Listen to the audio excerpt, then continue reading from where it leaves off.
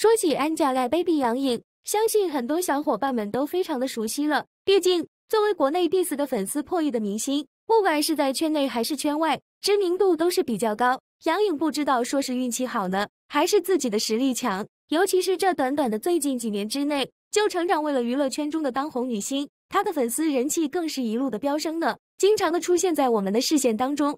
了解 Baby 的都知道，在二零零三年的时候，她是以模特身份出道，此后还因担任时尚模特而在香港崭露头角。杨颖本身混血。再加上后天的长相姣好，一度成为网友心中的女神。她的颜值也是经得起推敲的，身材更是无敌棒，有着几乎完美的身材比例，曲线玲珑，水蛇腰，蜜桃臀，令人惊叹。后来凭借着颜值身材，让杨颖在香港模特圈内小有名气。之后在电影《夏日乐悠悠》中的精彩演绎，也是让大家成功注意到了这个美丽的女孩子。后来随着与黄晓明黄教主恋情的公开，Baby 那也是成功进入到内地观众的视野。杨颖自从参加了《奔跑吧兄弟》之后，凭借该综艺节目成功走红。其在综艺中的随机应变能力令很多观众对他心生好感，他也因此收获了很多粉丝。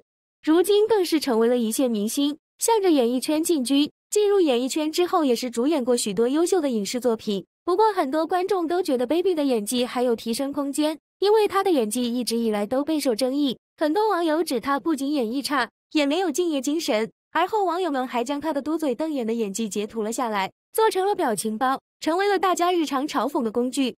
其实杨颖并不是科班出身，所以在表演确实会不如一些专业院校毕业的演员。不过大家也都能看得出来，这些年 Baby 也一直在努力，演技也在慢慢提升，事业发展顺利的同时，爱情也蛮顺利的。当年在机缘巧合下，通过朋友的某聚会认识了黄晓明，当时也只是普通朋友，但后来双方慢慢都萌起了爱意。经常各种方式传情对方，最终也公开了。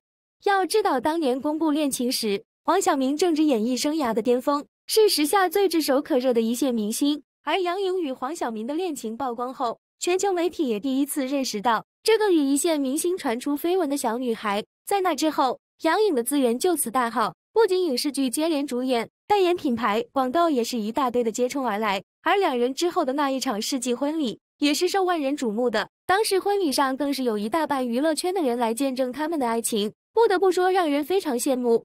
婚后也是育有一个儿子小海绵，一家三口幸福美满。但好景不长，婚后不久的黄晓明和杨颖就时不时被传出离婚谣言，这谣言最终还是在二零二二年一月二十八日打破了，两人真的一起宣布了离婚的消息，让人非常震惊。从当初一场梦幻的世界婚礼开始，到如今两句冰冷的回应解围。黄晓明和杨颖只维持了七年的婚姻感情就此破裂。